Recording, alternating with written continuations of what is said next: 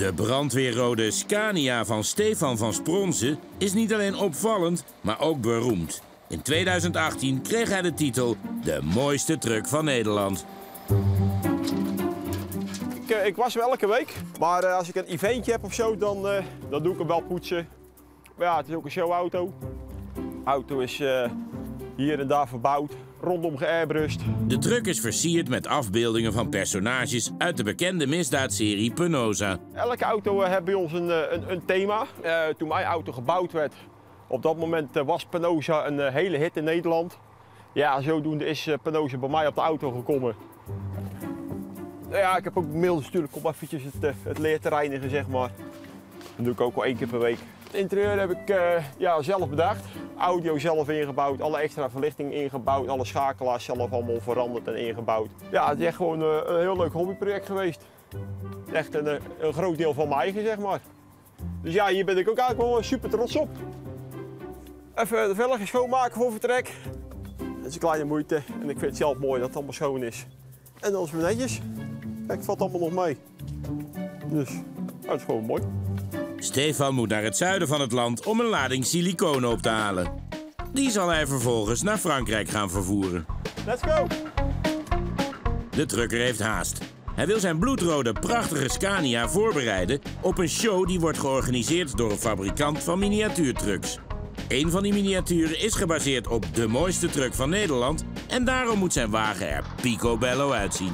Het maakt een groot deel uit van mijn leven, ja, zou ik het zo zeggen. Het is, eh, ik zeg vaak een kindje, kijk, het is wel leuk als je naar je auto loopt en, eh, je ziet de spulletjes staan glimmen in de zon. Ik ga graag naar de show, ik show graag de auto. En dat, eh, dat vind ik ook gewoon mooi. Dat de mensen gewoon van jouw auto kunnen genieten, dat ze het gewoon mooi vinden, de waardering. Dat de mensen ook zeggen van jeetje, wat staat er dingen toch weer netjes bij. Ja, dan weet je dat je het goed doet. Maar de rit begint niet goed. Hadden even een beetje afremmen, want we komen in de file. Erger nog, de rijbanen gaan dicht. Dit gaat denk ik even duren, want de slagbomen gaan ook dicht.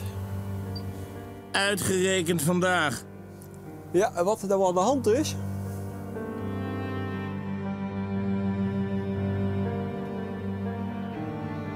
Oh, Stefan heeft een slecht voorgevoel. Oh jee, hij moet mij hebben, let op. Hoi, moet je mij hebben? Ja. Oh jee, Ja. Zou ik doen dat je net zo op bent? dit gaat nog wel even duren denk ik hoor. Hoi, Hey. Stefan. Daniel, goedemorgen. Je opbouw achter, eh, is die verstelbaar of is die gewoon vast? Eh, nee, ik heb gewoon een vaste huif en eh, ja, het is gewoon een normale 4 meter. Eh, ik ben ook nog leeg ook, ik heb ook niks, geen eh, rare vrachten erin. Het is gelukkig vals alarm. Het gaat om een misverstand. Ja, misschien heb je het zeil even op dat moment gewapperd of iets. Ja, je voor weet het hetzelfde niet. geld is iemand die wel te hoog was, die doorgereden is. Oké, in ieder geval bedankt. Dat eh ja, tekent dat systeem wel werkt. Dus. Nou, hebben we dat ook weer meegemaakt? De controleur begeleidt Stefan terug naar de snelweg. Ja, je staat toch even mooi, eh, ja, toch een soort van voor lul. Een redelijk bekende auto. De mensen zien het wel dat jij meegenomen wordt. Dus ja, nou lachen we erom.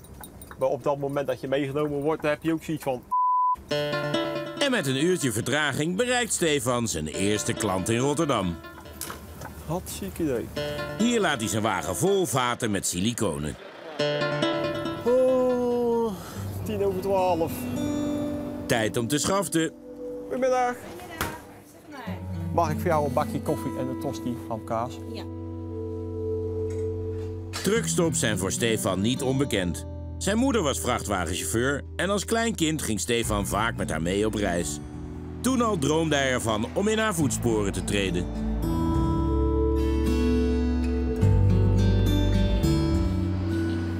Ja, vroeger waren er altijd wel een aantal mensen die altijd eh, gezegd hebben dat het bij mij nooit niet goed zou komen. Ja, die mensen die hadden waarschijnlijk een vooroordeel over mij.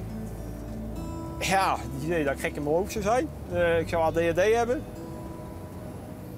Die mensen die lach ik nou allemaal vierkant uit. Altijd hield hij zijn doel voor ogen.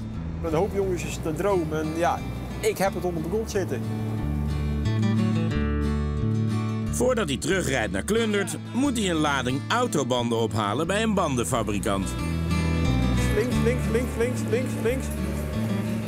Ook als trucker moet je soms erg creatief zijn.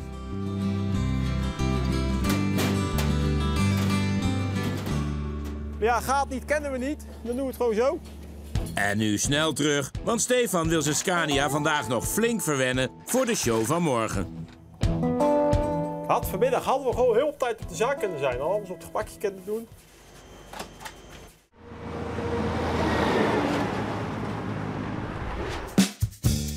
In het westen van Polen begint trucker Jarek Strankowski aan een nieuwe rit. De Pool is al 28 jaar op de snelweg te vinden.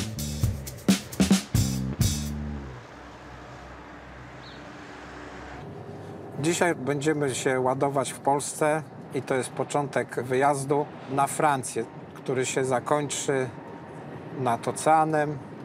Może tam będzie cieplej, to się pójdzie na plażę i chociaż popatrzy na, na morze, może troszkę się słońca zobaczy, zanim się będzie wracać do Polski. Mam 53 lata, mam żonę, dwoje dzieci. W ogóle jeżdżę ciężarówką od 92 roku. No i zobaczymy, co, to, co będzie dalej. Na razie jeżdżę. En nog steeds blijft het vak hem verrassen. Do załadunku zostało 19 km. Chyba pierwszy raz tam jestem i nie bardzo wiem, co tam za ładunek czeka na mnie. Coś mi się tam otarło o ucho, że jakieś drewno. Przygotowany jestem na wszystko. Wystawiała. Hij heeft nog 1600 kilometer te gaan. Hij moet van Polen naar La Baule aan de Franse kust. Jarek wil vandaag graag rijden tot aan de Duitse grens. Maar eerst moet hij langs een garage, want de Volvo waar hij in rijdt is niet in opperbeste conditie.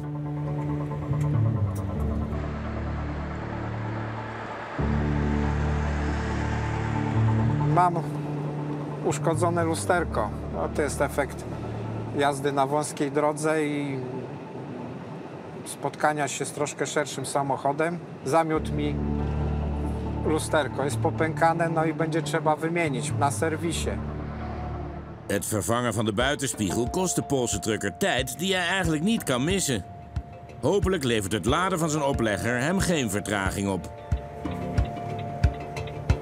My jedziemy tu w lewo. Zaraz zobaczymy. Tu jest jakiś tartak. Jak się coś wydaje, to może jakieś deski będą do załadunku. To są elementy ogrodowe. No to już wszystko jasne. No i gitara.